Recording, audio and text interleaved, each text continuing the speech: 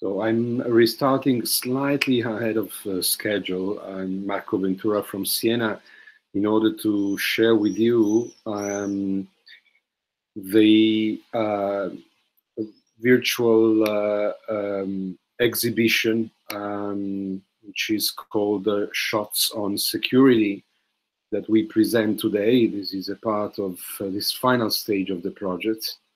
So um, accompanying this final uh, conference, we have the release of uh, a um, virtual exhibition uh, on security.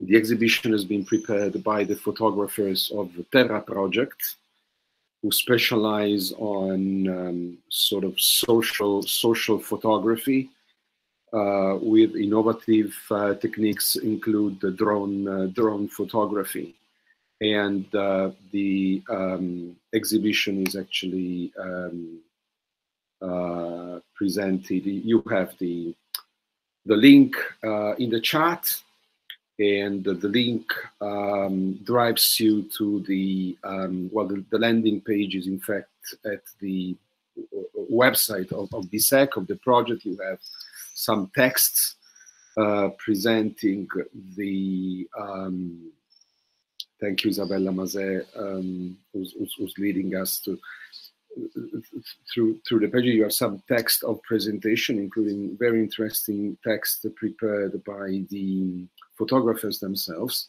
and then the virtual tour, and you you, you can enter this um, um, exhibition uh, uh, space, and, and and you have uh, photographs on security what well when we uh, started the project our idea was just you know the desolation of uh, the urban landscape uh, as a reaction to security concerns.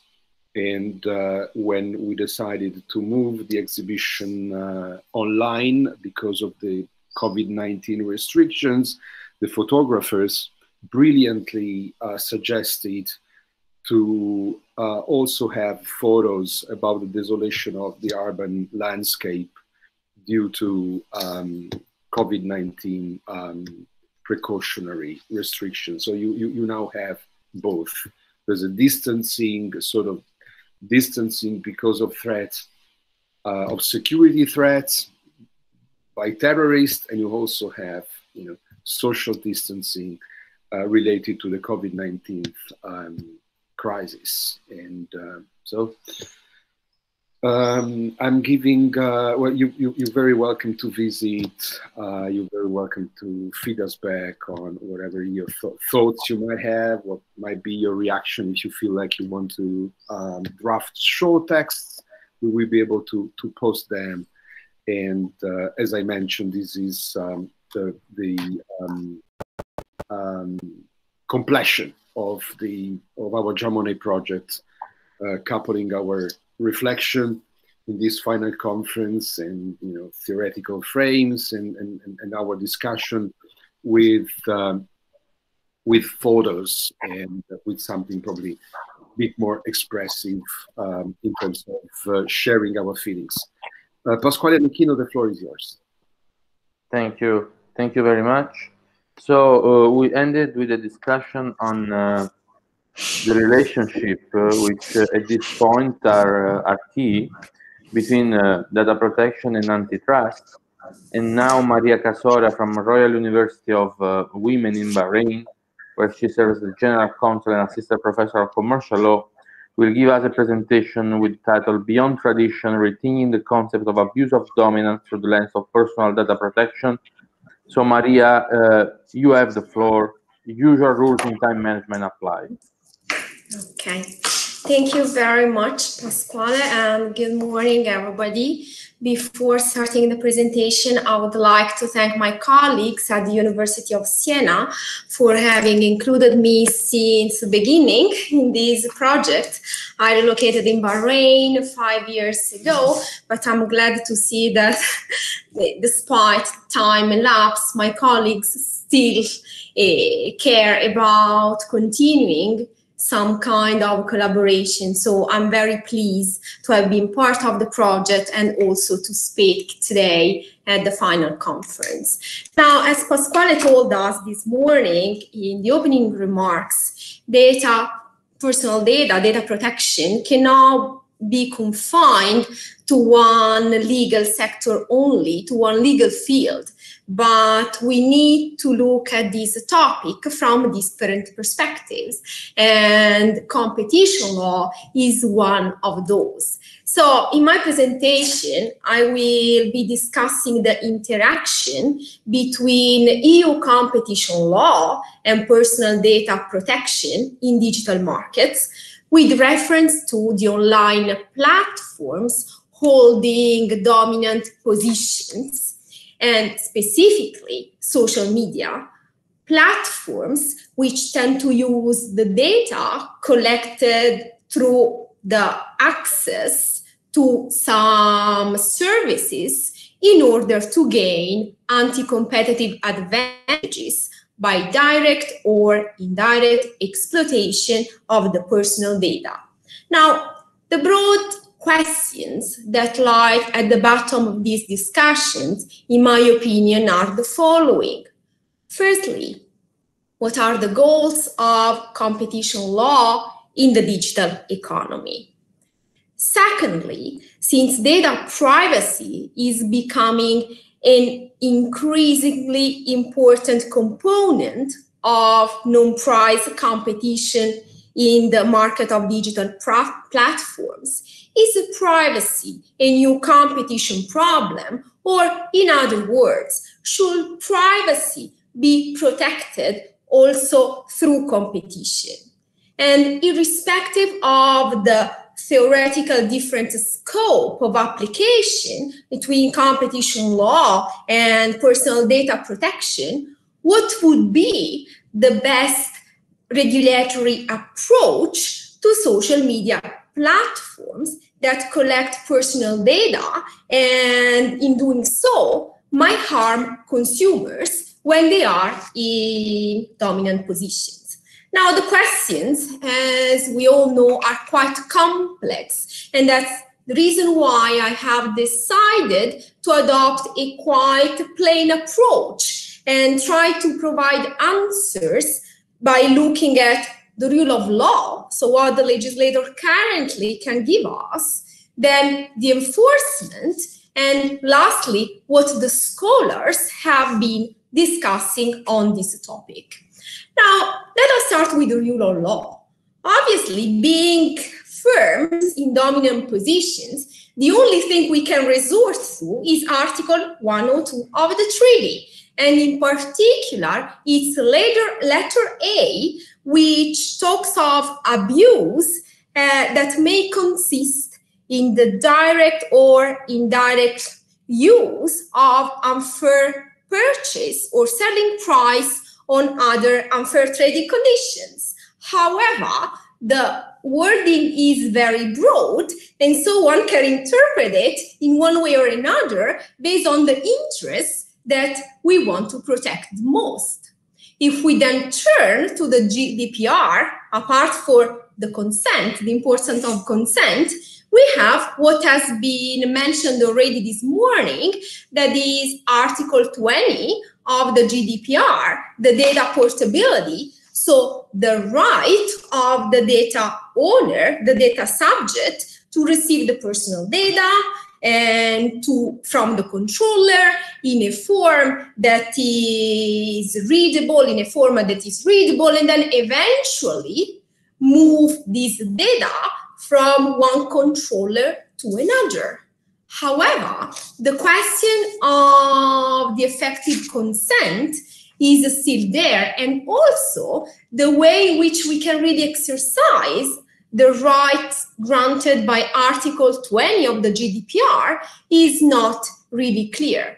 And that's why we have to turn to the enforcement. And as far as the enforcement is concerned, the main character in this field is obviously Mark Zuckerberg and Facebook. Is a famous social media platform that recently has been under the scrutiny of the German competition watchdog, the Bundeskartellamt or Federal Cartel Office. What happened is that in February 2019, the FCO prohibited Facebook US, Facebook Ireland, and Facebook Germany from making the use of Facebook.com by private users residing in Germany, conditioned upon the collection of users and device related data by Facebook without providing effective consent. Because as we all know, Facebook is dominant in its market because it also owns other corporate services such as Instagram or WhatsApp. And since the users were not really asked to provide a specific consent about the migration of data from these collateral services to the main platforms and vice versa, then the FCO said, no, this is a breach. And the important aspect of this decision is that the breach has been tackled from two different perspectives. So from a data protection perspective, what the FCO said is, well, the consent has not been given. And by the way, it is a prerequisite to use the platform. So either you take it or you leave it. When we move to the competition law perspective, what the FCO said is that the data protection violation performed by Facebook that had a dominant position in the market of the social media in Germany may also amount to a violation of Section 19.1 of the German Competition Act, which prohibits abuse of a market position. So in doing so, basically what the FCO said is a data protection violation now turns into a breach of antitrust because we need to protect the free market. And so likes, shares, analytics, and surroundings tip the scale towards the application of competition law as an alternative to data protection to privacy law because of the way in which the data are collected. Now, this would be a wonderful story that was written in 300 pages. However, the order issued by the FCO was stopped because Facebook obviously appealed the order and on 26 August 2019, the higher regional court of Düsseldorf temporarily suspended the order. So even though Facebook was given by the FCO 12 months to mitigate the breach and also was asked to submit a kind of improvement plan within four months, nothing happened. Now, why the court decided to temporarily suspend the order? Firstly, because the court stated that there were serious doubts regarding the legitimacy of the order. Because what the FCO seemed to say is, well, because Facebook is in dominant position, even though there was no actual breach, but hypothetically, Facebook can use its dominant position to obtain anti-competitive benefits, and as a result, the consumers are harmed. However, based on the German Competition Act, the dominant position per se cannot be prohibited, but is the abuse. And also, another very important element that was taken into account by the court is that Article 19.2 of the German Competition Act states that an abuse exists if the dominant undertaking demands payments. However, as we all know, Facebook is not charging, even though we also know that the currency we are paying in order to access the platform is giving up our personal data. Therefore, another point that was made by the court is that the FCO did not really explain the reasons why the data collection turned into Facebook acquiring the dominant position. Because, and this is one from a legal perspective, one of the main points used by the court, there was not really a causal relationship between Facebook's data processing in breach of the GDPR and its dominant position. So, in the rationale of the court, even if the foreclosure effects existed, the FCO's order was not appropriate to rectify the situation because, and this is another very important point, the FCO did not tackle the way in which Facebook collects data on its main platforms, but only on the collateral services that Facebook owns. So, in a nutshell, if we want to compare between the approach taken by the FCO and the approach of the higher regional court, what we can say is that the FCO basically deemed that the data protection boundaries set forth in the GDPR were clearly overstepped in the view of Facebook just being dominant even though this is a truism, because we know that in the end, Facebook is dominant in the market dominated by Facebook. Because as of today, there are no real alternatives to the services that Facebook offers. On the other side, the higher regional court of Düsseldorf took a more effects-based approach, and because the causality link was not existing as suspended, as I said, at least temporarily, the order. As of now, there is no final decision on the merits of the case, so everybody is waiting to see what the court will say in terms of merits.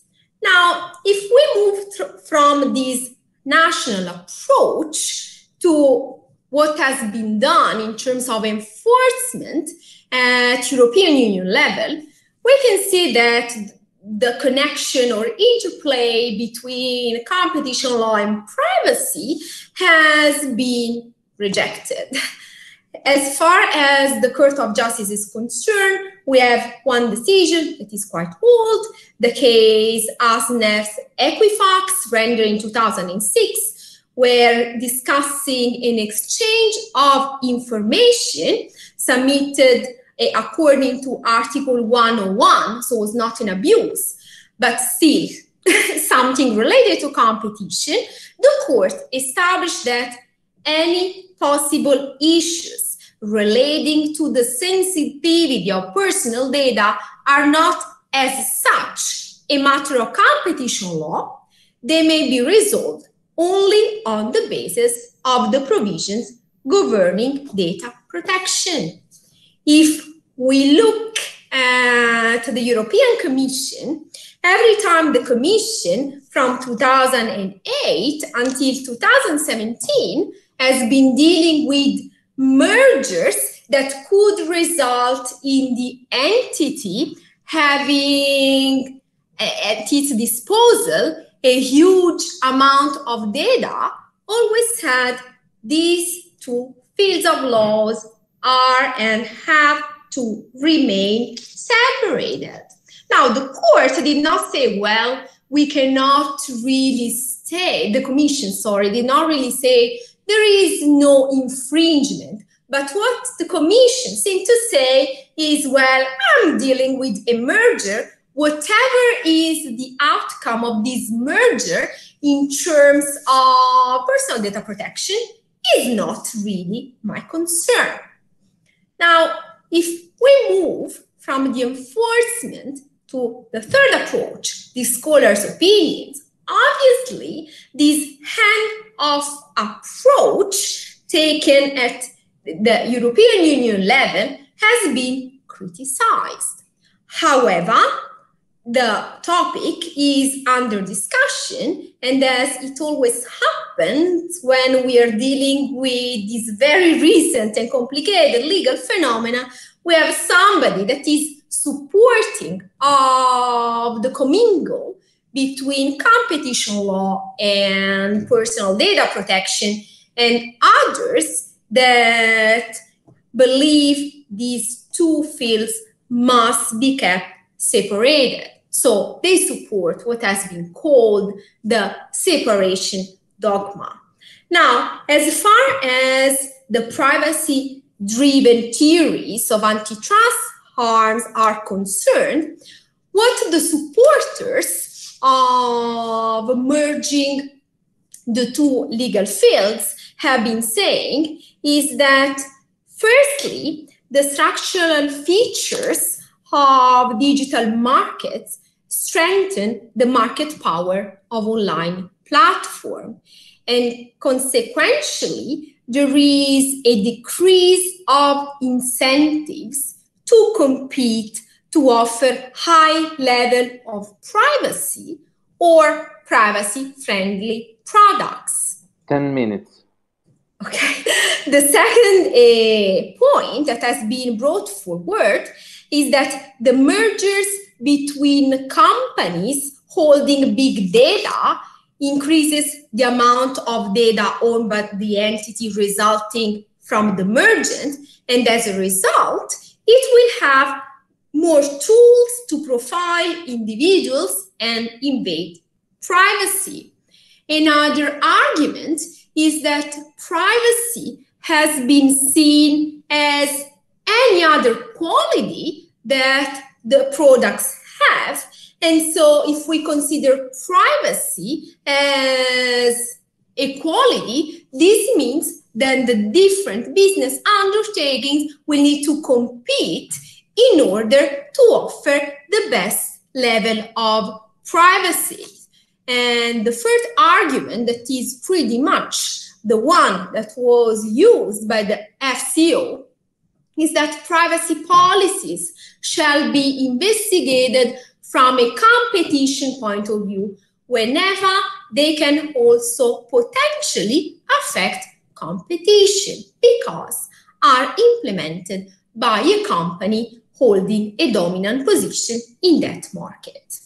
On the other side, the opponents of this mixed approach have basically said that according to competition laws worldwide, no firm has an antitrust obligation to produce the best goods, either in the digital or in the offline markets. And then has been stressed upon that the protection of the individual control over the personal data is out of the normative scope of competition law. As far as the argument of privacy equal to equality of the goods is concerned, those that criticize this approach basically state that it is very difficult to assess privacy as one of the competition law criteria. And lastly, it has been stated that the GDPR with Article 20 already protects the rights of the individuals to keep control over their digital identities. That's why competition law shall just continue focusing on what is the scope, that is to say, the effective functioning of the market. So in order to conclude, since I know I don't have too much time left, and if we go back to the three questions that I have made at the beginning of my presentation, I would like to leave the audience with the following thoughts. And I call them thoughts because obviously the subject is in evolution. As far as the goals of competition law in digital in the digital economy are concerned, it is unquestionable that the boundaries of competition law have changed. The growth of data-driven markets raises challenges at both competition policy level and at enforcement level due to the complexity of conducting the competitive assessment of business conducts in such dynamic markets. And so, since technology evolves faster than the legal norms, rethinking the wide spectrum of values which characterizes the EU competition law, such as efficiency, fairness, consumer welfare, economic freedom, and market integration, might be more effective than adopting a strict ad hoc rule of law for these ever evolving dynamic markets. If we move to the second question, shall we protect privacy or data in general terms through the competition law? Well, one element that cannot be overlooked is that the widespread use of digital platforms is causing individuals to lose control over their personal data because most users just give up their data quite easily since they don't have any choice if they want to use their service. And so if one were to stress upon the fact that since several years, consumer welfare is considered as a goal of the EU competition law and policy, and also that privacy concerns can produce effect, positive effects in the data-driven market, then the commingle between competition law and privacy could be justified. Moreover, in my opinion, this mixed approach is also justified in the light of what is called the privacy paradox, i.e., the paradoxical behavior of individuals who claim to be concerned about privacy but undertake very little precautions to protect their personal data due to the fascination of zero cost services. And in doing so, as a result, reinforce the market power of those undertaking, like Facebook, that gain profits through selling personal data through the data brokers, or they aim to develop algorithms, tailor advertising, and offer personalized products based on the data they have been collected. So, simply put, the rationale against the separation dogma, in my view, is the following. If we agree that one of the aims of competition law in the EU is to also to achieve consumer welfare, whenever the consumer is unable to reach on his own the optical, optimal level of precaution, then the legislative intervention must operate upstream as to minimize unfair conducts by the business operator and support privacy innovation. Basically, competition law can be used to educate consumers on how to better and more effectively protect their data. The last point, the best regulatory approach. We know there is never a, a best regulatory approach, But from a competition law perspective, I think that what the FCO has been saying, i.e., there is a harm to competition if you are in a dominant position, and so we can resort to revisitate the concept of exploitative abuses according to Article 102, letter A of the treaty. We can say that now, a newfangled data privacy abuse has come to life. And so I personally see that this is the correct trajectory in order for the competition law and policy in the European Union to consider what is the best assessment criteria for other types of violations that as a result will also improve the level of protection of privacy in the digital markets. Thank you very much. Thank you very much, Maria. You don't even need my second warning.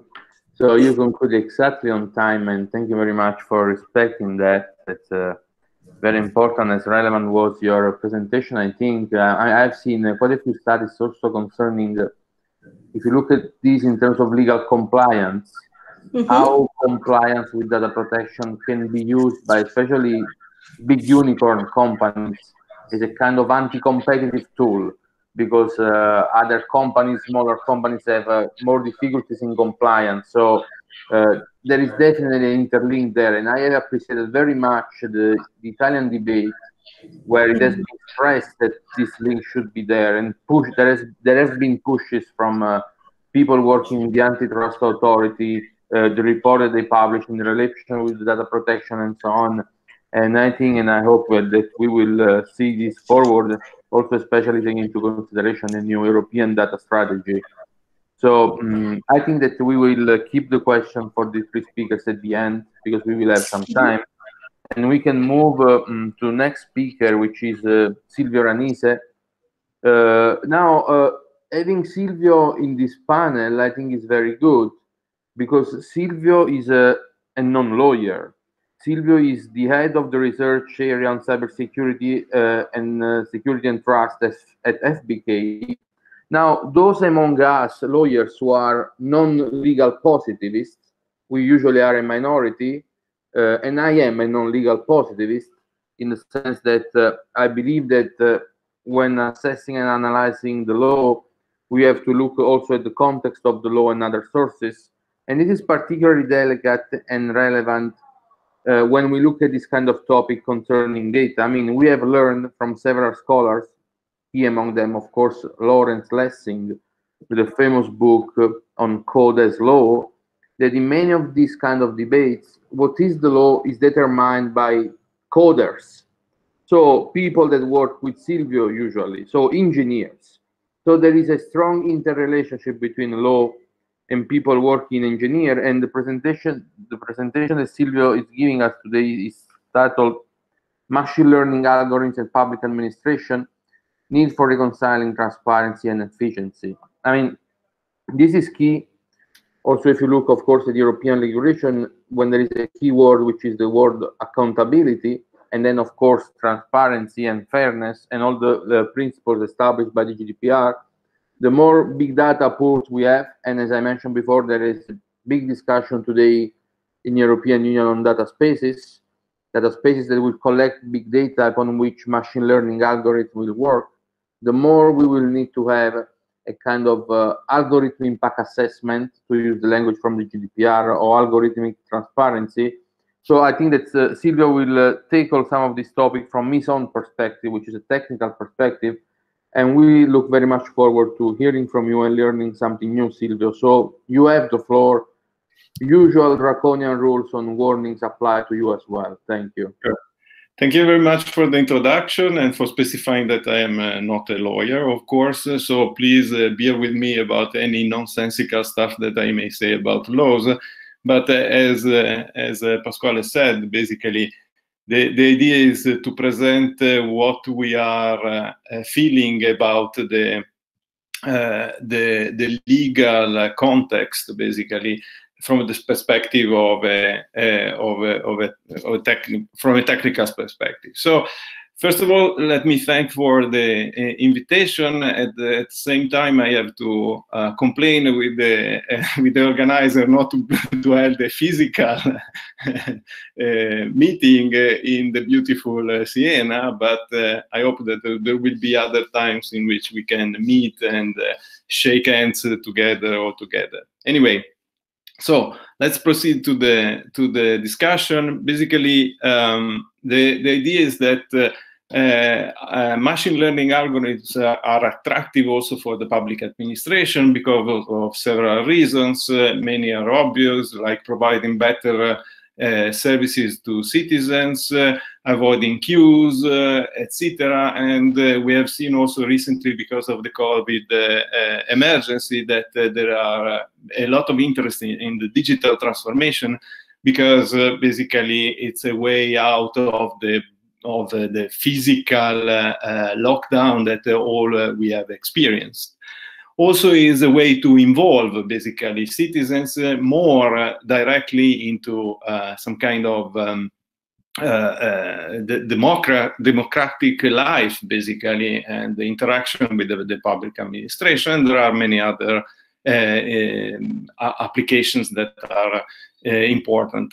For from the point of view of the uh, of the public administration, one of the main interests is to save money, basically. And for example, a recent overview here in Italy uh, basically unveils uh, uh, that there can be potential for 25 billion euro um, savings if we have a push in the investment, basically, and in more putting more money more uh, skills uh, and, uh, and more uh, also uh, i believe uh, human skills developing human skills in using this kind of tools basically. So given this what is an algorithm? Basically an algorithm should be differentiated from what is run on, on a machine, which is a program or a software or a code, a piece of code. Basically, an algorithm is a kind of recipe for solving a, a given problem. This is a, at a very high level of abstraction. So it, it's a mathematical object. It's a mathematical abstraction with certain properties that can be shown. Then this algorithm, this pure object that lives in the mathematical world, basically should be uh, down, brought down to a level of abstraction which is suitable to be executed on a machine. This is a lower level of abstraction that takes into account a lot of uh, other uh, details uh, that make it executable by current uh, uh, microprocessor on uh, the on, on what we use usually the, the, the, various types of computer uh, devices that we are used to. So basically, programs uh, that are concretization of algorithms takes input and transform them in output. Basically, this is a very abstract view of this. So the interesting part is how we create algorithms. So in the traditional way, uh, there are humans that look at the real world with some kind of problem, create a model. This is standard in engineering. A model of uh, a, a, real problem is an abstraction that uh, ignores certain details, basically, and then uh, come up with a set of rules of instruction that are able to solve, basically, the uh, problem in this uh, in this model. So engineers knows that the model uh, does not uh, precisely correspond to the uh, real phenomenon that they want to describe, but is useful despite the uh, the, the details that are ignored in order to make some prediction on the on the phenomenon that they are going to uh, to describe.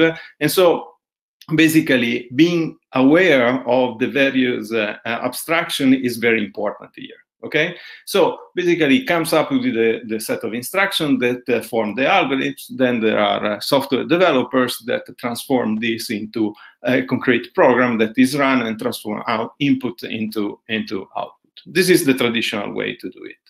So the new way, a more recent way, which is uh, uh, uh related to uh, advances in um, machine learning, but more in general in artificial intelligence, uh, basically uh, split the creation of uh, algorithm and their execution in two steps. One is the training. Basically, data are collected directly from the real world through um, sensors and etc. And then there is a machine that is it's a black box uh, basically uh, that performs uh, the training from this data, digests this data and crunches this data, and then creates the model and uh, the set of rules that allows, for example, to classify things, etc.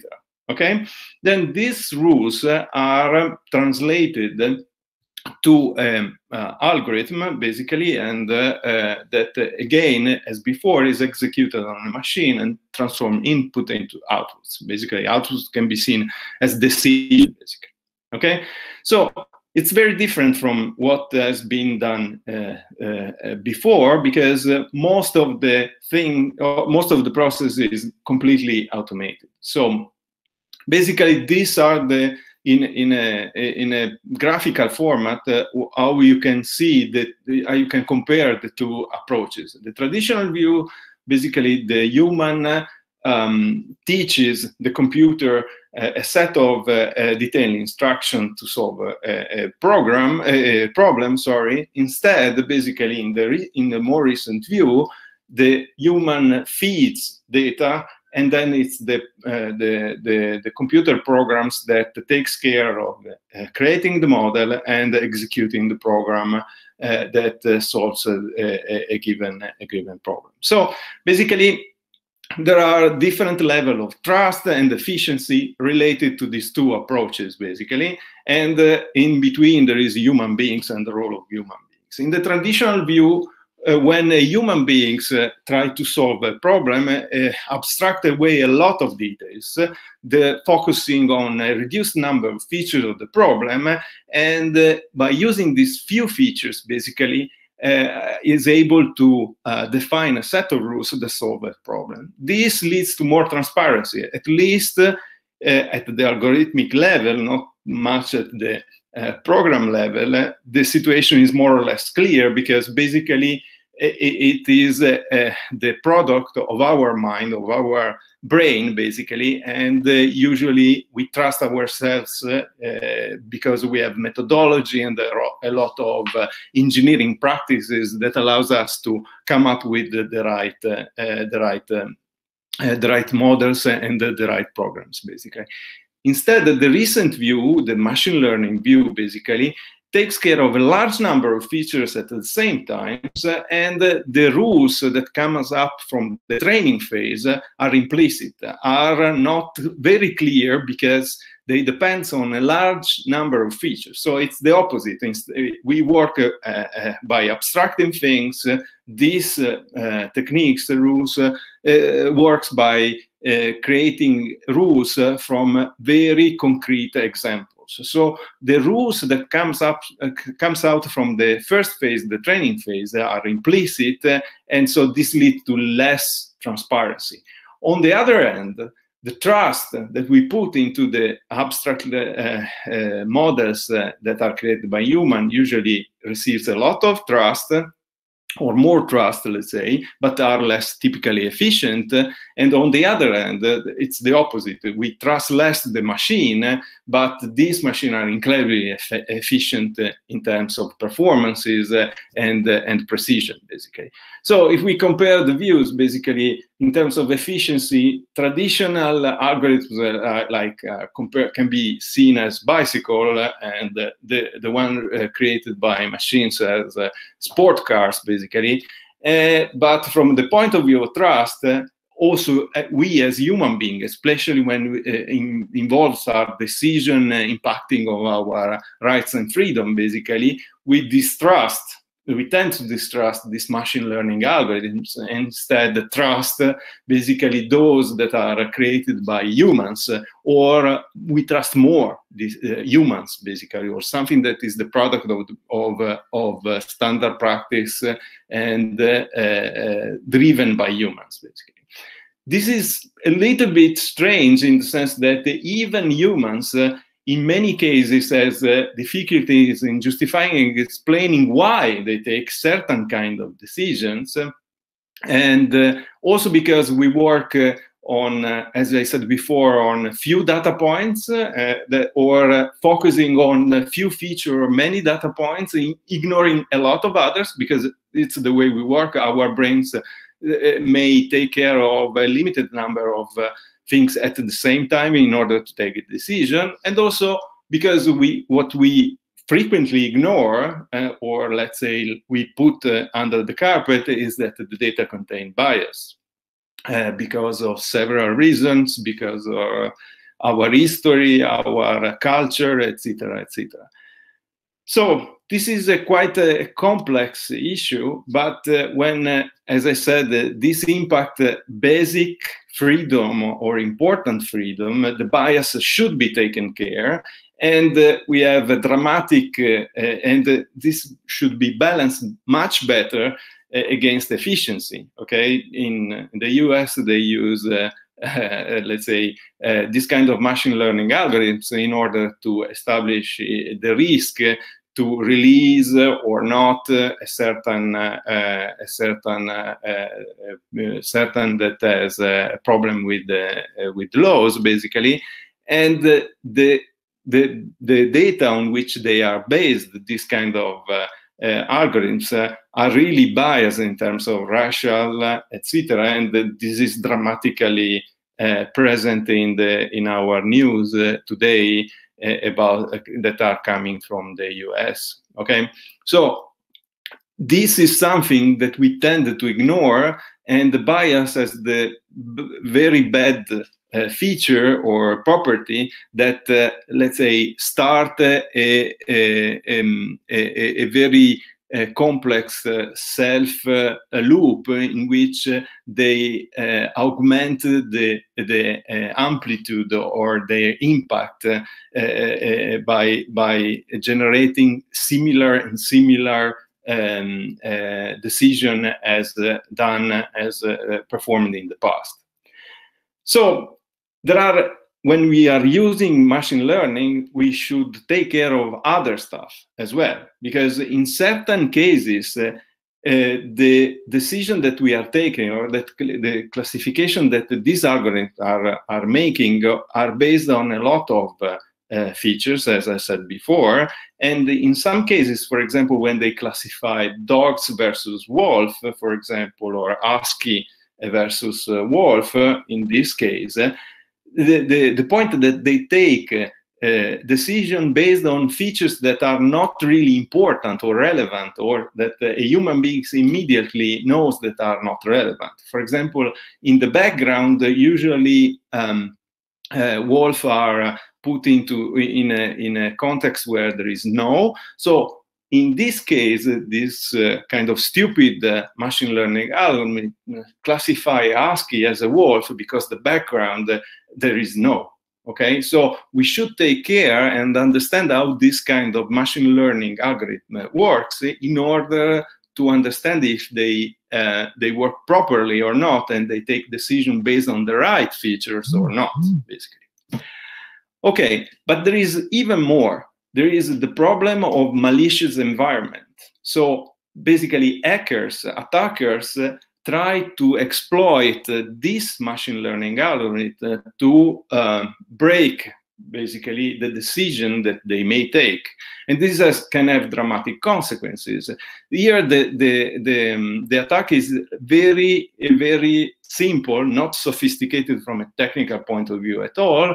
This implies to put stickers basically on uh, um, on road signs in order to trick the uh, self-driving cars algorithm that recognize this uh, this uh, this road traffic, so they can turn and they can trick the algorithm in order to misclassify um, a stop signal to a, a, limit of speed, which, is, which can have potentially catastrophic consequences in terms of safety of pedestrians or even the uh, drivers of the car.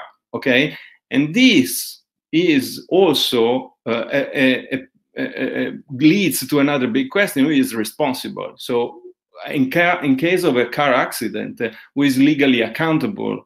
And uh, we have seen that uh, in Europe, uh, there is a lot of debate and the push for understanding better who is accountable for the choice uh, that derives from uh, machine learning algorithm, basically. Okay, and this is very interesting, uh, even from the point of view of assurances, right?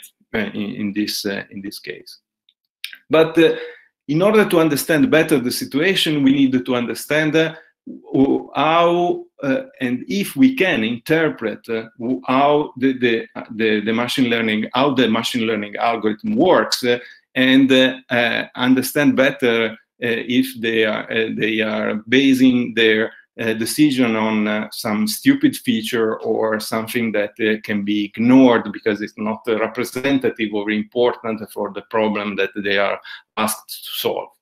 So here we should make a decision between explanation and interpretation. Explaining something, explaining an algorithm is a very, very complex issue because it's, it entails the capability to explain really the internal logic of the algorithm. And since the training phase that I have mentioned before creates algorithm that depends on a lot of features, this is very, very difficult, okay? Instead, a more interesting uh, approach could be to, to, to interpret uh, the uh, working of an algorithm. This means that we don't need really to understand the internal logic of the algorithm, but uh, try to understand how the input to this algorithm is uh, uh, associated to the output of the algorithm. So not only in terms of the internal working that can be seen as a black box, we don't know exactly what is inside, but by, uh, let's say, understanding the association between the input and the output in a more abstract setting. So explaining something is uh, the, the, possibility to explain machine learning algorithm is a strict subset of interpreting the, uh, their, uh, their, their workings. But again, even explanation or interpretation are should be carefully um, uh, interpreted. Again, sorry for the, the pun, uh, but the point is that uh, uh we need to understand, first of all, that there are two things to uh, interpret or to explain. The first thing is the training phase, so uh, understanding how the, the, the training step created the model, okay? So this is a very can be a very difficult thing that uh, clashes definitely again transparency because in most cases uh, the mathematics that is underlying uh, and the, the, number of features that are considered by this mathematical model are too many. Okay, so the the the, the point is that uh, the the simpler from the mathematical point of view uh, is uh, the the creation, uh, the, the, the, the technique used underlying the training model, the easier is to explaining. The more sophisticated, for example, in the case of deep learning, the the the, the more difficult it is to explain. Of course, thank you. The, uh, of course, uh, the point is that uh, um, I would say um, the the faster the algorithm uh, in this case, the deep learning algorithm are the faster, more precise, etc., and the more difficult they are explaining. And the, the, easy, the easier the mathematical model and the easier to explain, the uh, less precise and, uh, and faster they are, basically. And then there are another step that should be explained. So how the prediction algorithm or the algorithm that has been created in the uh, first phase produce the results, basically. Okay. And here again, we need to understand a lot of uh, different uh, um, things uh, that uh, are in this uh, kind of black box that has been created by previous uh, phase that whose difficulty is really to understand how modifying or uh, changing the values of certain features has an impact on the output that is produced, on the decision that is uh, produced. So here again, several kinds of uh, uh explanation are possible and uh, for example a, a, way to simplify our lives is to understand how a single for example decision depends on the output per per case, let's say, instead of trying to to understand a, a, a general to derive a general rule of how, how the output uh, uh, is associated to to the input. But okay, so for example, a good explanation in the case of the fact that uh, to understand that the previous example about classifying husky as a wolf because the background was white was is simply to understand that uh, the explanation, basically a notion of explanation in this case that is immediately and is intuitive for everyone, is uh, to show, to ask or to extract from the algorithm which features are more important. And uh, the features, uh, if we ask this uh, by applying appropriate techniques on this particular picture, is that uh, the background uh, uh, is more important, and in particular, the backgrounds containing snow. So the explanation why it was wrong, the algorithm to classify husky as a wolf, this is immediate, okay? But unfortunately, this is not so easy in all, in all cases, basically. Uh, also, another uh, important part of the game is that there are uh, sometimes billions of parameters that are considered at the same time by, for example, deep learning algorithms uh, that are particular classical, very efficient uh, machine learning algorithms here. So understanding uh, how small fluctuations of these parameters combined together may give rise to very different uh, decisions is really problematic and out of reach of even for specialists, okay, sometimes and also audience is relevant. So if I'm explaining the the, the working of an algorithm to a mathematician, then I can use integrals or other mathematical uh, tools and techniques or notions uh, that are uh, should be clear for him or her. But then, if I if a judge, for example, asks me, is there any bias for this algorithm coming from this algorithm? I should not tell him or her that uh, by using uh, a kind of, of integral or derivatives, etc., then this, is, this gives rise to a, to a kind of bias. I should tune the explanation to the audience. This is very, very important. Uh, otherwise, uh, even an ex a precise explanation is uh, worthless in, in, if you give the explanation to the wrong audience, basically. So explaining or interpreting uh, uh, this kind of stuff is really an interdisciplinary approach uh, that implies a lot of difficulties, basically. And also, of course, there is uh, uh, laws that tells us that, uh, in particular, when involved, when there are involved public administration and processing that has impact on fundamental rights, then there should be basically some kind of uh, uh, rights that uh, should be um, respected, and in particular the right to explanation. So this decision, a good decision, uh, uh, should be good, uh, so to speak, decision and the explanation of the decision should be opposable in the sense that it should be based on, on some on clear reasoning and the um, the assumption on which we start from this uh, to to make this reasoning should be uh, propositions that are easy to falsify, right? And uh, uh so uh, there should be also easy to challenge the assumption and and in order to modify the the final decision. So you see, there are a lot of aspects that should be taken care of when uh, you try to reconcile the transparency for accountability, etc., and the, uh, uh, and the tame the efficiency and keep the efficiency and all the gains that we have seen, like reducing cost, making uh, citizens more happy. Uh, if we talk about uh, public administration, when we serve them more. Um, uh, uh, targeted and uh, faster services, right? So here is the point. So if we look at only one objective like efficiency, then uh, it's easy, so to speak, because uh, the problem that we are solving is a single objective optimization problem. So the goal is uh, to have a high efficiency from, from this. Unfortunately, when we take into consideration also interpretability, this is a completely different problem from a point of view of, uh, of mathematics. It's a multi-objective term optimization problem, and unfortunately, finding the optimal solution is no more as easy as in the case before, where there are one single objective to optimize, to maximize or, or minimize. If we want to, at the same time, I have optimal solution for uh, for uh, um, uh, for um, uh, efficiency and interpretability, there is a trade-off between the two.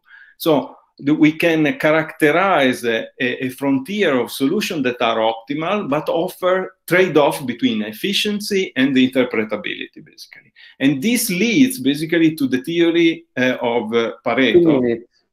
Thank you.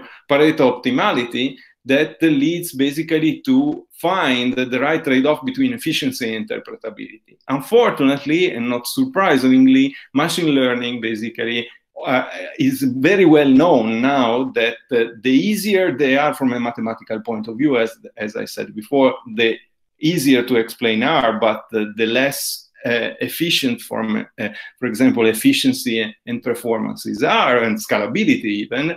And on the other hand, the more complex and sophisticated like deep learning here, the uh, more, uh, the less explainable they are. So we need to take care and to put forward an interdisciplinary approach in order to address this kind of stuff, in order to find the right balance between these two opposing forces and increase trust in, of citizens that uh, are treated with fairness uh, with respect to this kind of stuff. So this kind of processing that is automated processing. So my suggestion, the proposal is to embrace a, an open source paradigm, basically, which is in Italy is also pushed forward by Agenzia per l'Italia Digitale, for example, that basically push for uh, uh, putting uh, the, the source code of this kind of algorithm open, scrutinable by everyone, and especially by different legal and uh, machine learning and citizen and even data protection experts uh, that uh, should uh, discuss and help everyone each other to find the right trade-off between interpretability and, uh, and efficiency. So thanks a lot for your attention. Uh, thank you very much, Silvio. I was amazed by one fact is that one of the key words you used I don't know if you did it on purpose. Now you can reveal it. it was Black Box. Mm-hmm. And uh, one key book in the area by lawyers, by Professor Frank Pasquale, the title of the book is exactly The Black Box Society. So I don't know if you were familiar with that book and you did it on purpose, or you just took it from your engineering discussion.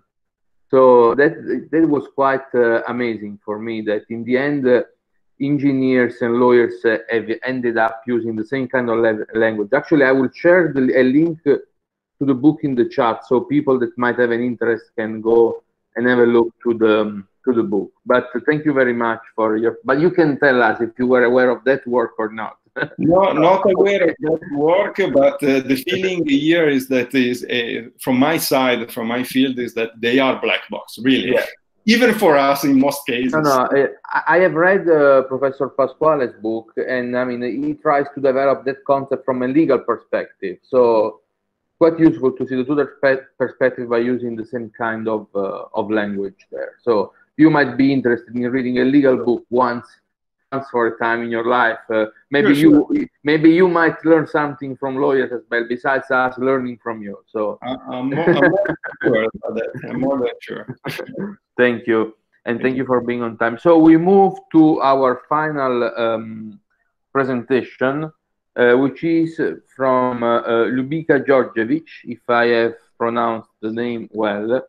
And Ljubica is a senior research associate and head of the Justice and Governance Cluster at ECMI in Flensburg, Germany. And the title of her, her presentation is Processing of Ethnic Data, Juggling Between Data Protection and Diversity Management. So we go back to a more kind of human rights focused discussion. So 30 minutes for Ljubica, and you have the floor. Please, welcome. Thank you very much, Pasquale first. Um,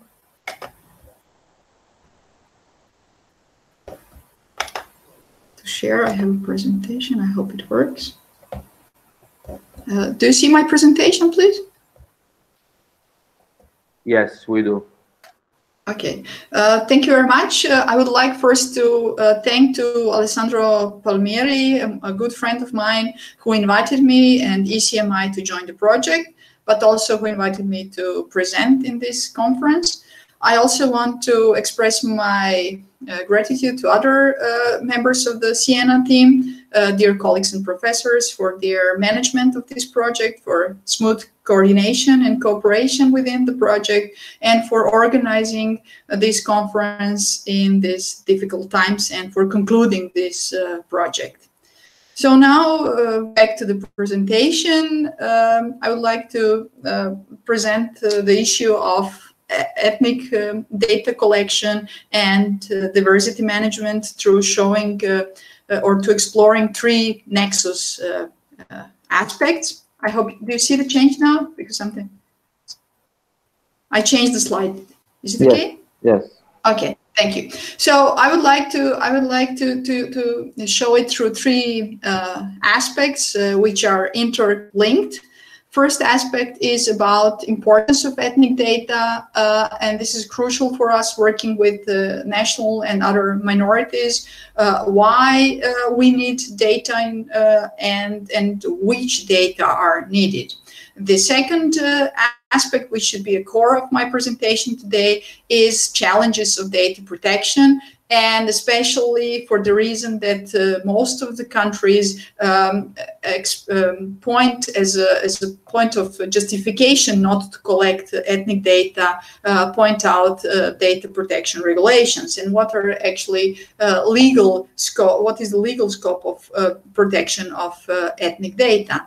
And finally, as a side remark to my presentation, I also want, want to point out out some methodological challenges uh, of to collection and processing of ethnic data in terms of how what is actually ethnicity and how we can measure ethnic ethnicity and what again which, which is linked to the question what data is needed. So first I would like to, to, to share with you uh, several quotations from European actors uh, relevant for uh, integration and uh, minority protection, uh, and to show you this um, uh, uh, uh international international point of view uh, about the need of uh, ethnic data.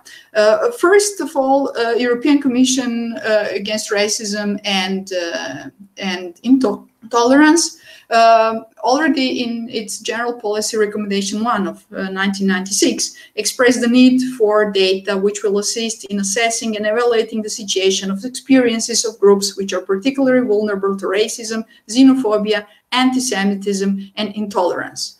Then uh, the ma major monitoring body when it comes to national minority protection, Advisory Committee on the Framework Convention for National Minorities, uh, expressed in its thematic commentary number four of 2016 the need for reliable and disaggregated equality data related to the number and situation of persons belonging to national minorities. And finally, I also uh, uh, I also picked up one another quote from the OSCE High Commissioner on National Minorities and the Ljubljana Guidelines on Integration of Diverse Society, in which it was pointed out that police, policy development should be based on the collection of systematic and comprehensive information and its objective analysis. Data should be disaggregated according to criteria relevant for integration policy, such as ethnicity, or language. So we can see that uh, at, the, at, the, international or European level, uh, there is a consensus that there is a need for data. And this data, we can now, now I can just uh, sum up, these data are, are needed for uh, to, to, to serve different purposes. The main purpose is uh, achieving equality and combating uh, discrimination. Uh, the other is national minority protection in terms of uh, demographic, demographic thresholds for access to some minority rights or um, parameters for monitoring and evaluation of positions of persons belonging to national minorities and so on and so forth. And then there is also this uh, aspect of equality integration policies where data is needed for information on equality and integration levels and uh, for implementing, monitoring, and evaluating policies. So uh, if we are clear that data is needed, then the other question is what data? Because there is a pool of data, so then what is the data? Usually what is uh, considered as needed and essential ethnic data is statistical macro data. This is the data that can, that can indicate position of relevant groups of population in various areas of life. It's about ethnic structure of population, employees, students, consumers, and so on. So it's aggregated data on individuals, and uh, it actually showed trends how minority groups are represented in the, in the various areas of society or how they are affected by some uh, in, by some policies. Uh, for example, now in this uh, health uh, situation with the COVID pandemics, there is also intensive call for data about how minorities are affected with the pandemic and also with the measures fighting the pandemic. And as you can imagine, these data are usually lacking, except in those countries which have traditional, let's say, practice of collecting such data. Uh, uh, then there is a second group of uh, data which I will not address today. These are data revealing the status of group without interfering with data on individuals, number of minority schools, number of minority media, and so on and so forth. So which are not personal in any way, but they can be indicative of how uh, minority groups, uh, about the status of minority groups.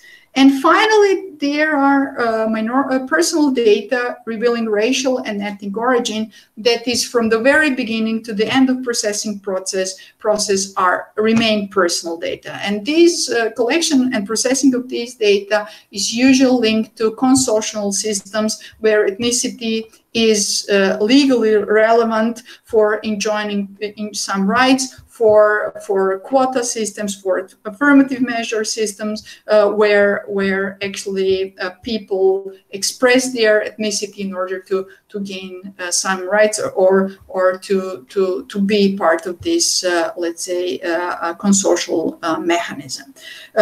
and this this diversification of data is important because different legal regimes may apply to different types of data, which I will show later.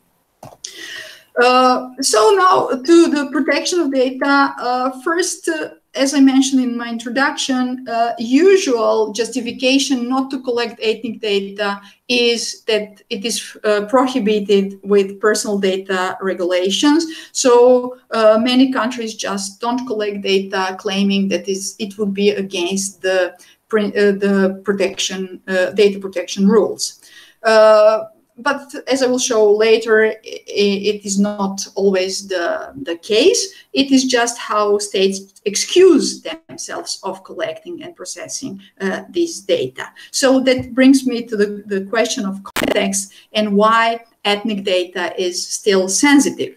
Um, there we have a social context and examples of severe misuse of ethnic data in the past. Uh, always typical example is of Nazi Germany and persecution of Jews and of Jews in, because of the, the existence of such data, or experience in colonialism times where uh, colonized population has been classified.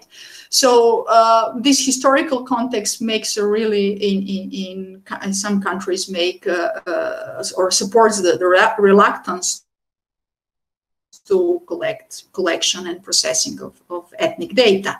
But there are also contemporary risks of misuse of data for discriminatory treatment of individual persons uh, or of perpetuation of stereotypes and stigmatizations of groups and persons belonging to these groups. For example, uh, uh, criminal uh, statistics, which can uh, be misused or misinterpreted by claiming that Roma are more criminal perpetrators, which can be uh, statistically uh, the case, but it's not the, the, the, the, reason or it's not justified to claim that then Roma are more criminogen than and the other population because not other uh, uh, elements are are uh, brought when analyzing the data.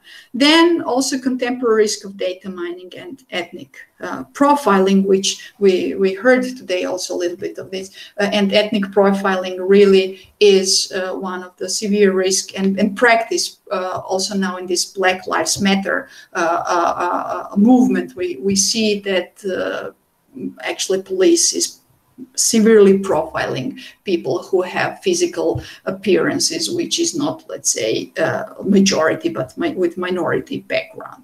So what is the, the, the, the, main question is the question of purpose of processing and using of ethnic data. So it's like a, it's a, like a drug which can be used as a medicine or as a poison. So it, then oh, uh, the, the approach cannot be that it's sensitive issue and that data cannot be collected. But then the real approach is actually to minimize the, the, the risks and to minimize the or to change the context in which uh, ethnic ethnicity as such and also ethnic data becomes normalized and it's not so sensitive. So um, authorities um, instead of claiming that it's sensitive and uh, illegal, should also um, put more effort in making ethnicity and ethnic data less sensitive, to make less normalized, and to make a context in which this uh, misuse of data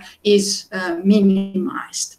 So, um, uh, several notes on the legal framework uh, which shows us that actually uh, protection, uh, that the processing of ethnic data is not absolutely prohibited as, as some opponents claim. So uh, I, I, picked up two, let's say, uh, core uh, legal uh, acts. One is in, in scope of the uh, of the Council of Europe, the other in the scope of uh, European Union.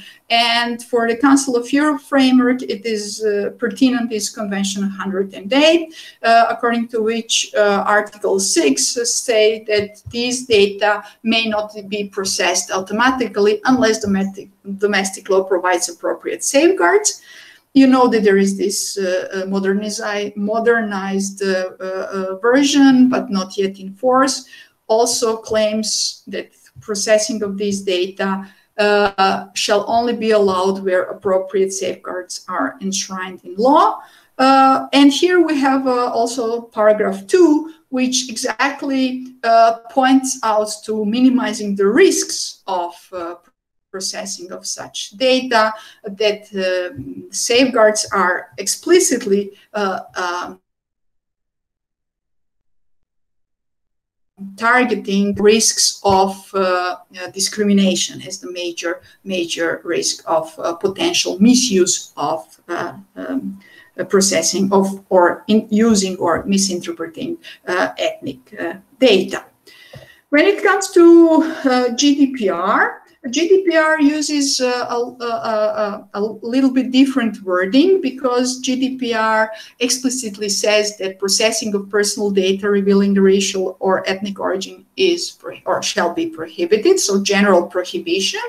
But uh, uh, uh the story doesn't end here because uh, paragraph 2 of Article 9 lists um, several uh, exceptions which are relevant also to uh, processing of uh, ethnic data. And uh, I have listed here uh, four of exceptions which are commonly uh, quoted when it comes to processing of ethnic data. First, it's um, when the data subject has given explicit consent when the processing is necessary for um, legal claims before courts, which is very important when it comes to support using data when supporting uh, discriminatory claims before the courts. So equality statistics to uh, show that uh, persons belonging to some group are uh, more affected with some apparently neutral measure. Uh, then uh, processing for the reason of substantial public interest. This is pointed out as the the main the, the core let's say, uh, exception relevant for processing of ethnic data that um, uh, guaranteeing and uh, equality and integration of all segments of society is uh, substantial or create substantial public interest, and this can be used as as a, as a good uh, exception or ground for uh, processing ethnic data. And uh, finally, something what is uh, for researchers, but also for po policy developers, very interesting. This is this non-personal use of or processing of ethnic data for historical research or statistical uh, purposes and scientific, of course, uh, research. So, uh, although the general um, uh, rule is that processing of this data is uh, prohibited, nevertheless, Article 9, paragraph 2 uh, opens several channels or grounds under which uh, processing of ethnic data is uh, is lawful and is uh, uh can be uh, is allowed. So one interesting point, which is often ignored by by opponents to processing of ethnic data, is the scope of application, because GDPR and other data protection regulations um, cover protection of personal data. So this is any information relating to an identify or identifiable natural person. Uh, whereas if from the moment when the data is not anymore personal data, then this legal uh, regime uh, doesn't apply uh, anymore. Um, this doesn't mean that data which is not personal uh, doesn't undergo any uh, scrutiny and and uh, is not obliged to to uh, to follow uh, some minimal standards of protection, but nevertheless, uh, it's important that uh, statistical data or ethnic data, which is not anymore, where it's not anymore uh, possible to identify or uh, uh, nature or nature uh, data subject, is not protected as personal data, which is of great importance for statistical processing of data necessary for combating discrimination or promoting uh, integration. Uh, and the second point, which is also very uh, interesting, especially for us dealing with minor with these legal aspects and data protection aspects, is the question of data revealing racial, racial or ethnic origin. So the, the formulation is really broad because it's not data on racial or ethnic origin, but data revealing racial or ethnic origin. And then the, the question arises, where is what is the scope of this uh, interpretation? What data actually reveal? Yeah, what data actually reveal racial or ethnic origin? Is it wider interpretation that also proxies are then um, used as uh, or are under protection as ethnic data, or just uh, data uh, directly uh, indicating racial or ethnic origin? I will come back to this question in, in my final slide because it's, it's interesting. So, uh, what is the, the key uh, then uh, aspect is that if if uh, the pr processing of data is permissible and lawful, then of course what is important even more for sensitive data is uh, legal and technical are legal and technical safeguards. Uh, and these, when it comes to legal uh, safeguards, it comes to these uh, principles of or milestones of legal protection. Whereas for ethnic data, lawfulness and transparency are very important. Of course, purpose limitation and, and clarifying what purposes of uh, is for the processing of ethnic data. Uh, data minimization also, the important question is whether data is really necessary and not to extend the, the scope of collecting and processing of data. And of course, uh, uh, uh, uh security of data and access to data. So then this, this brings me to another point here to technical and organizational measures to in, ensure data security. So access to data and and uh, and security of data in, in general, uh, whereas it's uh, mostly, it's commonly stated that uh, pseudonymization and anonymization are crucial uh, elements uh, or, or, techniques for protecting ethnic data and making this uh, link between data and per individual personal um, uh, to break the link between these two, uh, whereas it's important to state that pseudonym, pseudonymization, uh, uh, these pseudonymized data remain uh, personal data and remain under the the uh, data protection regulations whereas where when data are anonymized they stop to be personal data. And finally I hope in five minutes I will, yeah. Uh, finally, my final slide is uh, comes back to this uh, question of which data are actually ethnic data and which data uh, um, get under this uh, uh, provision data revealing uh, racial and ethnic origin. There are some principles, uh, and the basic principles is free and voluntary self-identification whereas uh, uh, uh, so person is has to be always free uh, to ex to express own uh, identity, but also not to express and cannot be pushed or or um, uh, to to express own identity. And on the other hand, it's very important that it's not possible to to to use proxies, and it shouldn't be possible to use proxies for example, language or skin color or birth of, of parents or similar proxies which countries usually do to uh, uh, to actually identify persons, but that self-identification should be uh, should be the main the main uh, uh, principle uh, under which ethnicity is is measured, or which brings us to this question that if taken like this, then only data directly linked to ethnicity and race should be considered data revealing uh, race or ethnicity. Um, I will skip this uh, categorization of ethnicity. This is another question, how we put open type or preset, uh, preset categories. It's a, it's a different uh, and difficult um, uh, story.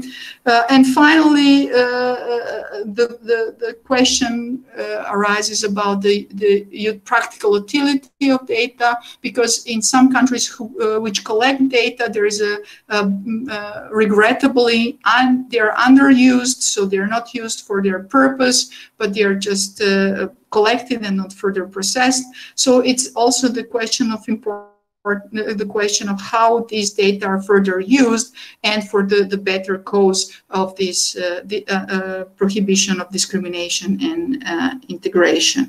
And finally, my final comment is that uh, the need to collect and further process data uh, doesn't mean uh, full quantification of uh, discrimination, anti-discrimination and integration policies, because we shouldn't go into another extreme uh, collecting too much data Uh, and uh, just uh, uh, rest all policies on, on quantitative parameters, but there, there is a need to, to have a balance between quantitative and qualitative parameters and methods. And data is just a tool, but we cannot use data actually to, to, to substitute the, the policies and anti-discrimination and integration policies, but just to support them to be more effective. Thank you very much. Thank you very much, uh, uh, I think it's uh, a very relevant topic. I have personally written on some of these issues as far as uh, discrimination in the field of uh, uh, religious freedom is concerned, not on European law, but on American law, because New York Police Department and several other institutions were doing ethnic and racial profiling on Muslims. So this is a, a, kind of discussion which has a global scope. Also, if you look at what is happening, for instance, in China against the Muslim minorities and so on, and of course there is debate also within the European Union. There have been several reports published, both by the DG Justice, for instance, and also by organizations like uh, Statewatch. So I want to open the floor from uh, some question which might have arisen, and then of course give the floor back to the organizers. We have a few minutes for Q&A if there is somebody who wants to intervene.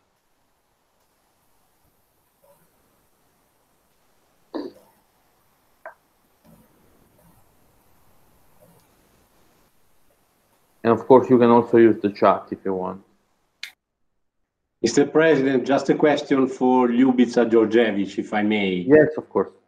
Yeah, I, I was particularly struck when you were discussing, uh, you know, the, the, the, grounds allowed in the GDPR to restrict uh, the prohibition of processing of ethnic data. No, you you mentioned this Article Nine. You you recalled all the grounds provided for in Article Nine. And the ground that struck me most was that of the substantial public interest, because it's not defined at all. And uh, so I wonder, you know, my question here is, is simply, even in this sensitive area, no, the, the profiling of races and the protection of minority, you have such a broad ground for restricting that uh, apparent uh, uh prohibition. So I know that that is, of course, subject to control and review by the Court of Justice of the European Union. But isn't isn't uh, isn't it this uh, another evidence that uh, in the area of personal data, member states retain a lot of freedom, uh, a lot of leeway? Ljubica?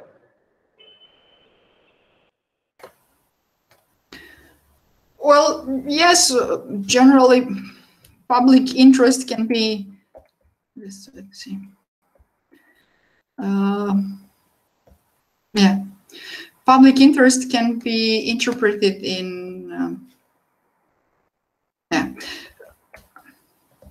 So the substantial public interest can be really interpreted widely, but it's uh, for us who are promoting uh, uh, processing of ethnic data, it's usually uh, the, the Uh, the ground which is referenced as the, the possible gate opener for processing of, uh, of uh, ethnic data, uh, whereas it's claimed that, uh, uh, that fighting discrimination and, find, and promoting um, integration is, is, a pub, is, is, is a in public interest. Uh, and the other, let's say, safeguard uh, is that uh, persons cannot be forced to uh, to reveal their ethnic origin. So uh, this is like uh, like the you can ask a person to to declare own identity, but persons should in no way be forced to declare their identity entity. So there always need to be the, the box not declared or, or undeclared or so where where through this like second safeguard people get into so data are formally collected but people get the the, the let's say the the uh, backup solution uh, or, or to just not to to declare our own identity so yes, we can say yeah, public interest is there, and uh, and uh, anti-discrimination and integration are public interest.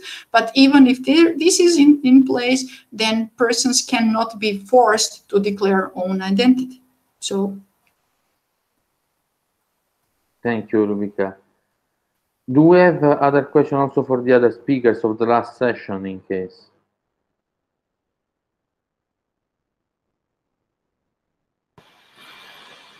I would have a question if nobody wants to kick in.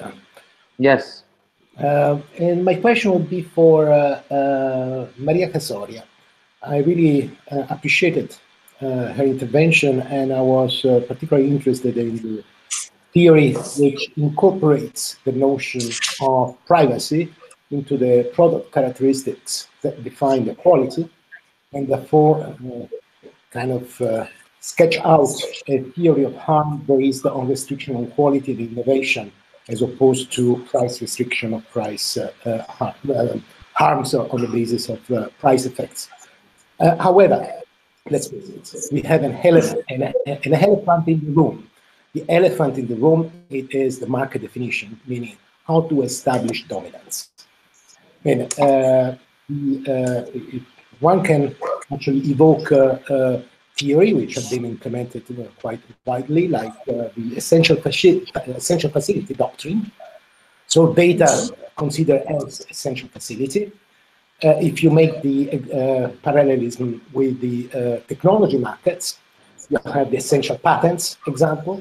But again, you look at the effect on downstream markets uh, and services and, and, products where the market remain contestable in the uh, markets in which the technology is applied.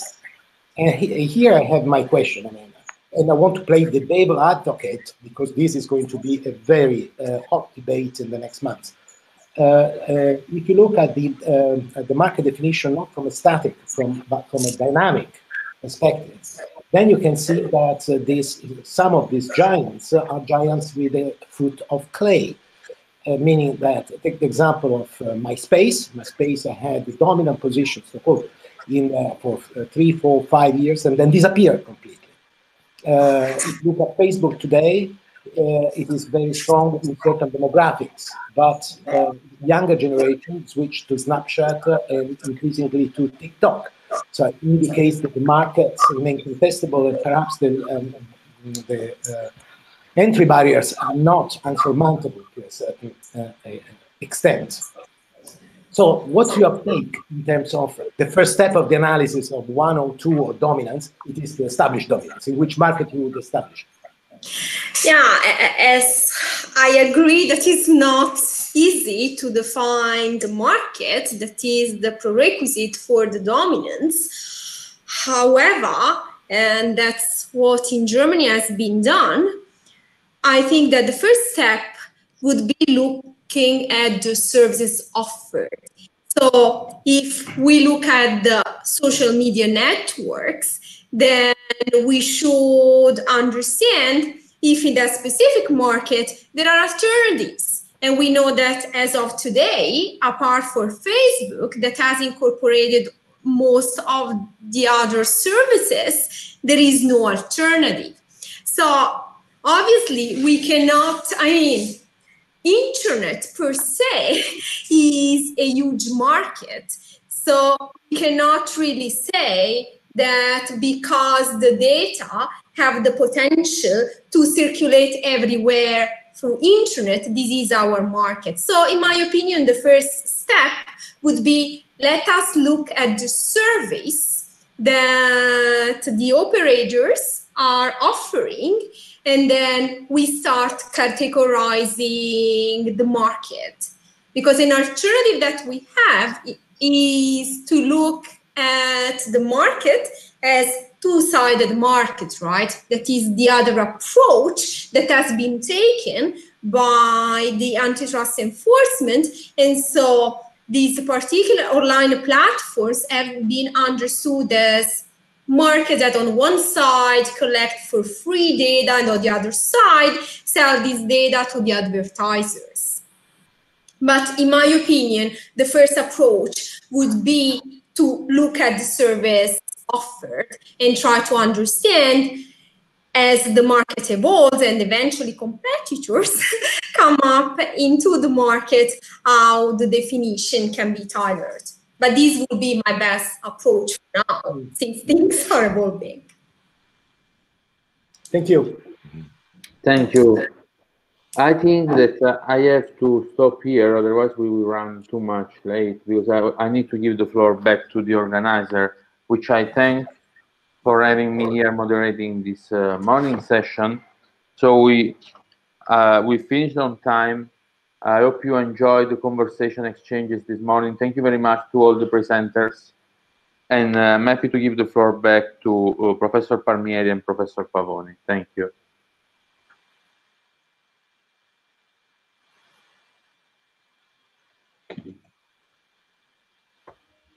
Hello. So I think Alessandro, I'm going first.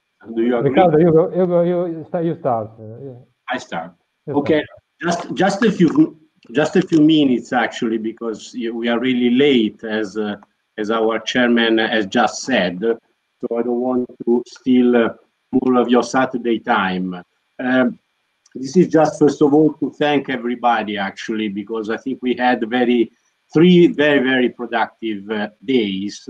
We actually discussed many areas uh, of the law and policy of the European Union relating to security and we I personally learned a lot from the mm, very varied and different contributions that we uh, that we were uh, privileged to listen to the many speakers we listened to.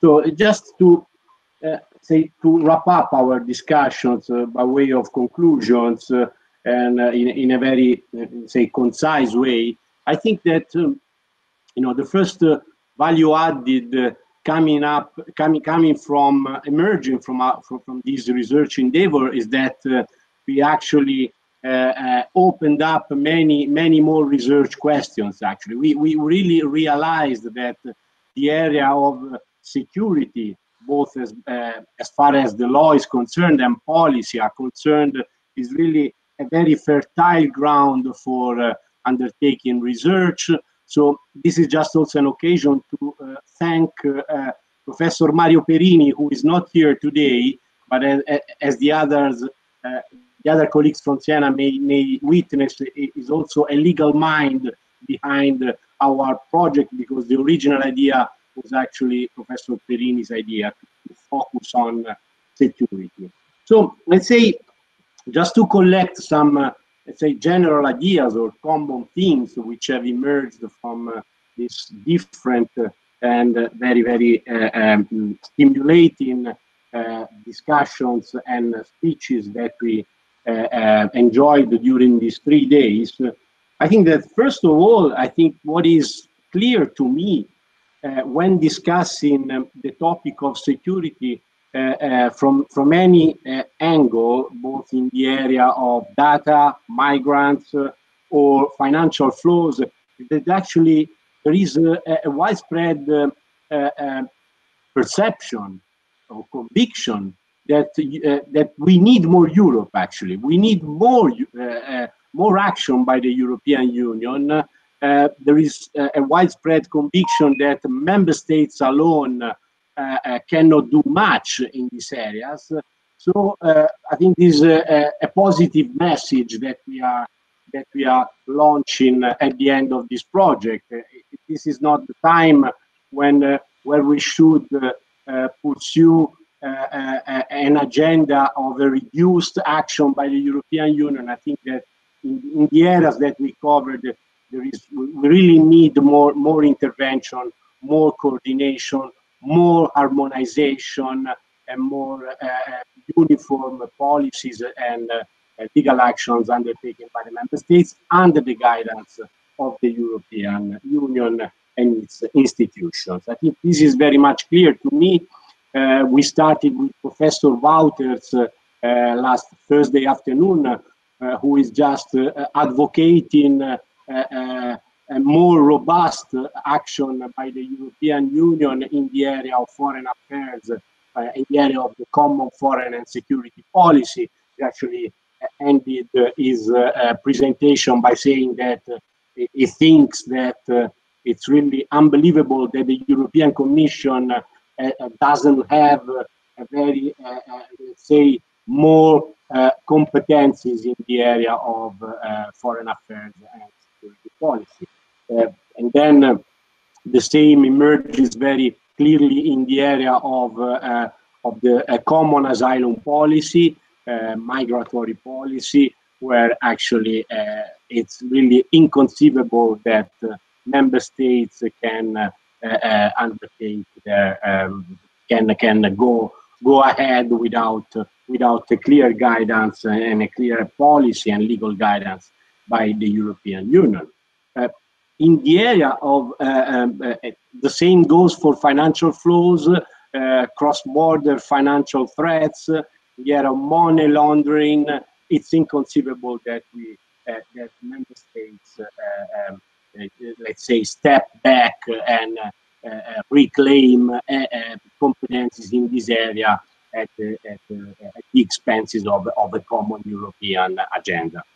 Um, so when it comes to when it comes especially more specifically to uh, the area of uh, migrants fundamental rights and issues of security related to migratory flows um, actually i mean i think that every almost every speaker made it clear that uh, uh the key word here should be more solidarity among member states more mutual trust and more respect for fundamental rights. Uh, so I think this is very clear to me that uh, if we want to go uh, ahead in a, in, a, in a sensible way in this area, uh, there is more need for solidarity and to focus on the protection of fundamental rights of migrants. Uh, I think that uh, all the interventions went in this direction, especially Professor Lenzerini, the very first days made very clear and insightful remarks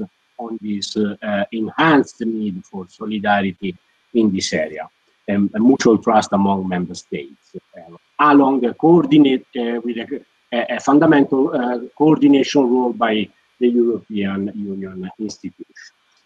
Um, the same goes for, for example, uh, uh, the, the, the, speech by Katerina Casalova uh, Uh, yesterday morning, uh, she discussed uh, the detention practices uh, of European Union member states uh, in the um, vis-a-vis um, minor migrants, so the children, the protection of children in the context of migratory flows. She underlined this disparity and diversity of practices in the European Union member states when the final message was that this is inconceivable in a European Union uh, that, for example, Ireland should have uh, a total prohibition of detention of children, whereas in other in other member states things are, are very uh, are very different. So there is even here a need for a more robust harmonization of policies in this key area and more uh, collaboration between the European Union institutions and member states.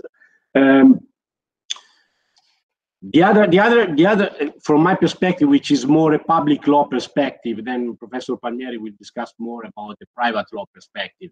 From public law perspective, the, uh, the, the most intriguing issue in this area, uh, which emerges very clearly from uh, these discussions uh, uh, during these three days, uh, is how to frame security in terms of rights. Because, of course, what emerges once again, I knew already this, but uh, now I'm mm, even more convinced about this. Uh, the security is a, uh, is a polysemantic concept in law and policy.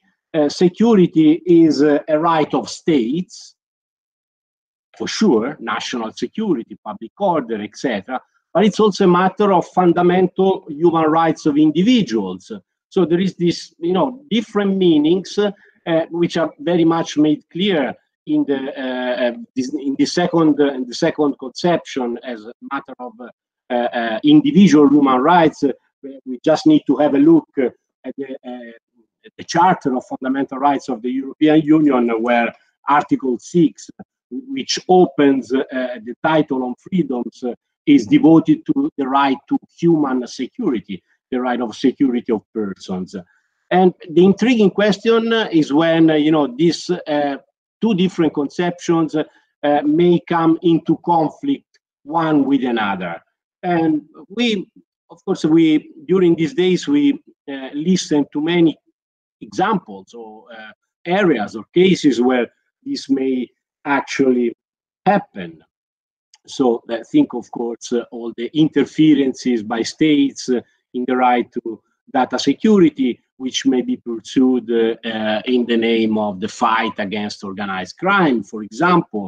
Um, think about uh, uh, again the right to, uh, the right to uh, to freedom of expression. You know, uh, Paolo Cesarini uh, today was uh, trying to reframe Article 11 or re- uh, rewrite Article 11 of the Charter of Fundamental Rights by saying that okay, there is a, the right to impart uh, information should be read like the right to impart reliable information because there is this uh, uh, increasing problem and challenge arising in the area of disinformation and, and, and fake news. And the examples uh, may multiply here. Uh, so the, the, basic rights that we analyzed during these days, and especially this is true for uh, right of privacy and the right to data security, are rights which are very much in flux.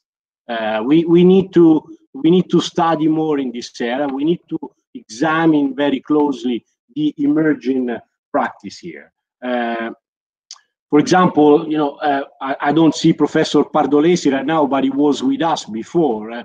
Uh, uh he made made a keynote address in the first way, which to me was very much illuminating in this area. He described the trajectory of the uh, Court of Justice of the European Union with respect to the right to be forgotten. And he concluded his uh, keynote speech by saying that privacy is not absolute at all that the right to be forgotten has been diluted to a great extent in the recent jurisprudence of the Court of Justice of the European Union. So I think that here there is an increasing need to uh, uh, to test our assumptions in this area in the light, uh, of course, uh, of uh, technological challenges and technological progress. Um, I, would like to stop here, not to take uh, more time, and I, the floor is Alessandro's.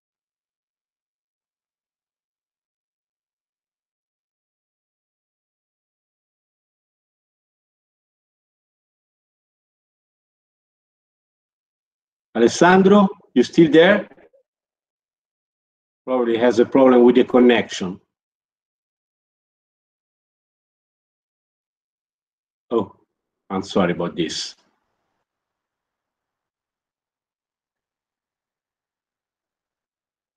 There must be a technical problem with uh, Professor Palmieri's connection.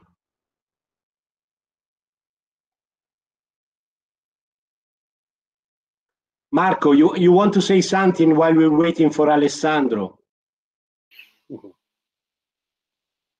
I, I, I was just ready with my final words, but uh, my short uh, final statement uh, but I'll still uh, give Alessandro a chance to come back. I, see, I see you're moving again, Alessandro, so you might be able to.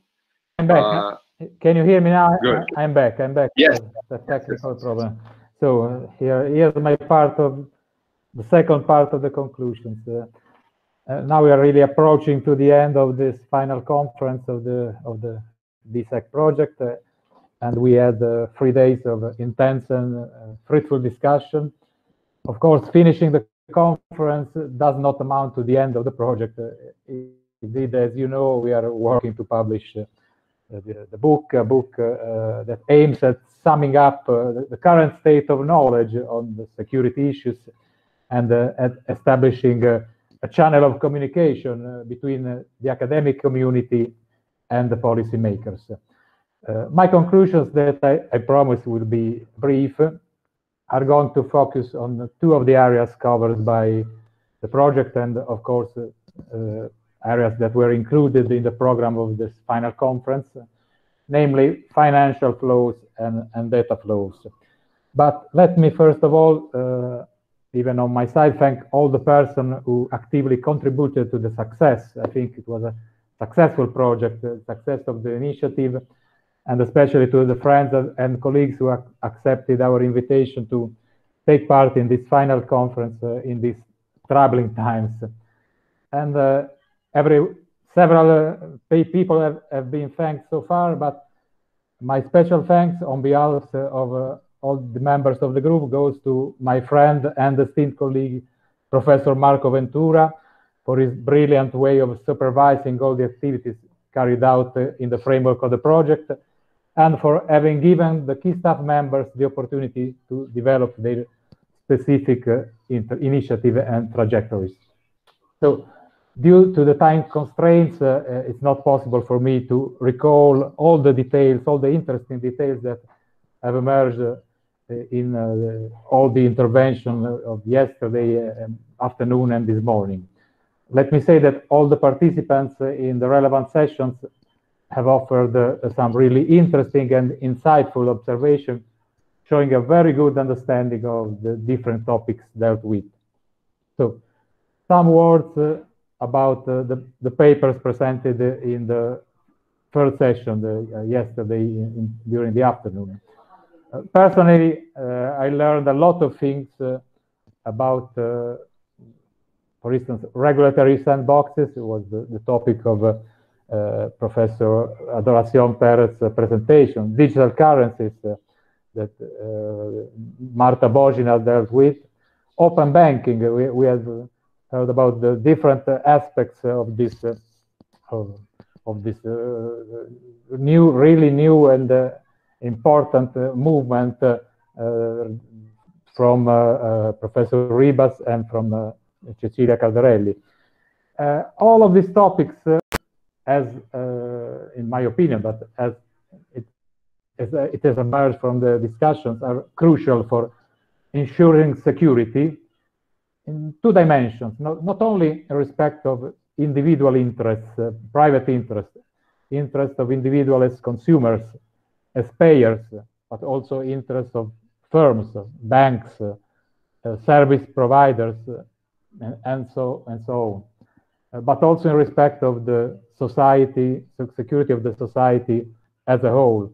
And so, uh, as Riccardo said before, of course, uh, coordination at, at, the European level is needed in this field uh, to avoid uh, uh, risks, uh, not only for, as I said, not only my consumers' interest, but also in terms of defense against criminal organizations and uh, also terrorist uh, organizations that uh, leverage on, on financial flows. but I think that, and all the speakers agreed on this, that there is a need of more research to investigate this phenomena further and in order to offer feasible solutions uh, to decision makers at, at, the national level as well as the European level. And uh, in this respect, let me say that uh, a research unit based in, uh, in, the University of Siena in cooperation with the University of Alcalá and a Polish university and also the legal service directorate of the Bank of Italy is uh, planning to launch uh, a project uh, specifically on the open banking movement. Uh, let's let's uh, uh, let's go to the other to the other side to, to the data flows and um, data protection. Generally speaking, an, an analogous considerations can be made on the theme of data flows. so in the keynote sessions, as Riccardo remember, we have heard a brilliant speech from Roberto Pardolesi. Forgive me my conflict of interest because we are co-authors of several publications. And today, I see, I think all uh, the five presenters have enlightened us on uh, different, uh, several aspects uh, uh, related uh, not only to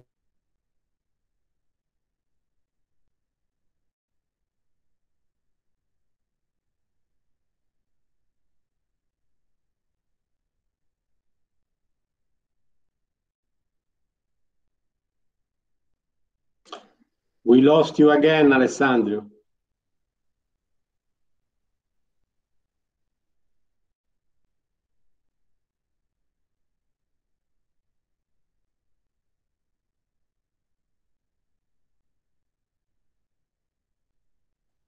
It's a real pity because we were speaking now about the speakers of today.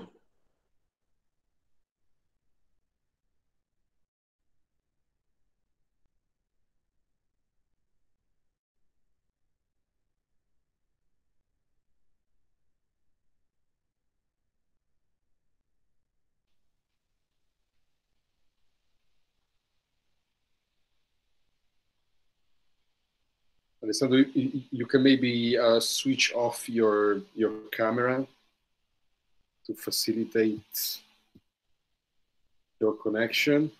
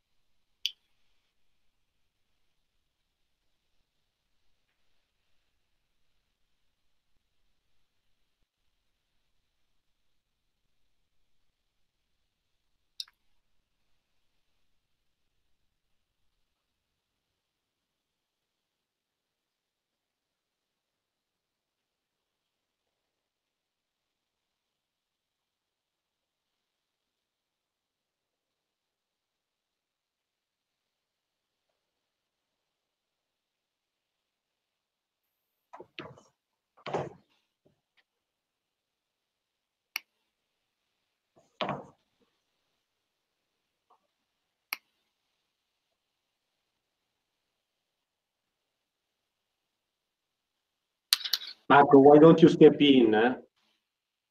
Oh, well, yes, like, uh,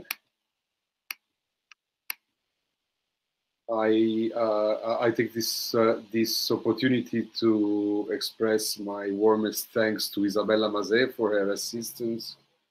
She's been uh, great in the uh, preparation uh, and handling of this meeting, and as she's been in the past for um, other events uh, of the project, including the workshop we had on cybersecurity in Trento at FBK. Um, thanks to um, Gian Maria Milani, I said yesterday already how important uh, his uh, constant care for the project was. Um, thanks to um, uh, Riccardo and Alessandro uh, for the, again, constant uh, presence and, and, and, inspiration, and Mario Perini, as Riccardo mentioned, for his uh, vision, which made this project possible, and his uh, contribution, including in the idea of having Terra Project contributing this uh, beautiful virtual um, uh, exhibition. Alessandro is back. I give you the floor. Sorry, I apologize. All the morning uh, the connection was perfect, and, and then in the end I had problems. So my, now I'm speaking with my smartphone, and I, I hope it's okay that I was concluding my conclusions.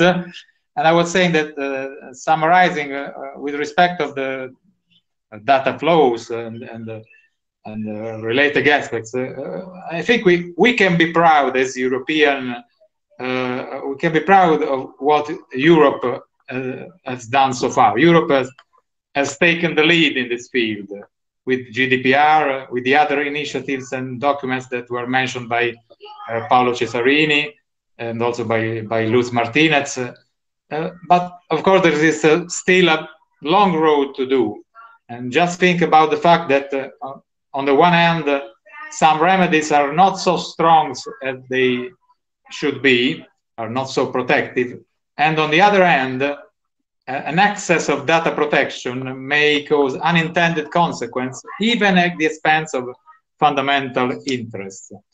Uh, probably, as it was, it is, as, as, as uh, sorry, as it has been pointed out by Professor Pardolesi, with respect, uh, with specific respect to the right of to be forgotten, but this the same pattern can be applied uh, the, to other uh, aspects of uh, data protection flexibility of remedies uh, may be the key, may be the key to ensure uh, a proper balancing of interests. Uh, so finally, uh, in both fields, uh, in both areas of movement of capitals and of data flows, some targets have been achieved so far, but we need, Europe needs, let me say, Europe needs to pursue more ambitious goals. And uh, to conclude, we hope uh, that uh, with this project, with this conference, and with the forthcoming book, we hope to help institutions to perform this, these difficult tasks and maybe we will become a, a part, an important part of that multidisciplinary community of uh, fact searcher, data specialists, and researchers uh, to which uh, Paolo Cesarini referred in his speech uh, this morning, and so to give our contribution to the improvement of regulation in this very, very important area that reflect to the security for Europe uh, as, a, as, a, as a continent, the European Union, and for all of us as citizens. Thank you very much. And uh, sorry for, for the technical problems. it's okay, it's okay. So I, I, reiterate my thanks to Riccardo and Alessandro, adding uh, my gratitude for your concluding remarks. Looking forward to reading you and the others uh, in the forthcoming book. Need to mention that two books have already been published as a result of uh, this uh, series of, of events in this project. One uh, about the meeting which took place in Banska Bystrica, and I'm very grateful for the partners, Slovak partners, for this as well. And the other one is a monograph uh, from Daniele Ferrari on uh, um, minority uh, rights of religion or belief communities in the international sphere. Uh, many thanks to Pasquale Annicchino for his brilliant share this morning. Uh, thank you so much for the presenters and the speakers uh, who, who, were really, really amazing this morning and the previous days, for in particular those of uh, them who are still with us at this late stage of our conference. Um, my thanks to the, the, all the partners, University of Siena, FBK, Flensburg as, as well. It was good to have Ljubica with us uh, today. And uh, finally, um, many, many thanks to participants and, and people in the attendance. I need to mention that some of them were not lawyers, were not engineers, they were philosophers or sociologists. It was probably difficult for them to uh, to follow all the um, all the presentations, but I, I'm, I'm very very grateful to all, uh, uh, to everybody in the attendance. I shared with you um, a, uh, our forthcoming webinar series on AI and religion at FBK. We will share future initiatives from the law department of the University of Siena, other um, other units from University of Siena and, and, FBK. And again, uh, thank you so much and enjoy the, the rest of the of the weekend and uh, hopefully let's be in, in touch for for the future.